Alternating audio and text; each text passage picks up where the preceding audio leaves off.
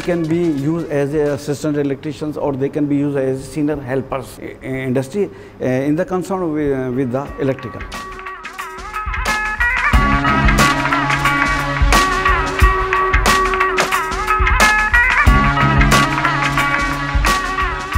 My job is to uh, teach and um, to perform the practical with this my class and my responsibilities as a, a faculty of basic electrical and house wiring course.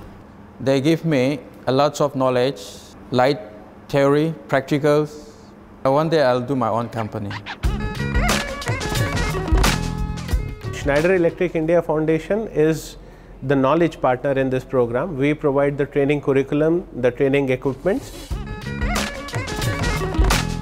Entrepreneurial program is that Schneider Electric India Foundation helps certain students from uh, the electrician training program in becoming entrepreneurial in while they are going back to their villages or the places where they belong to.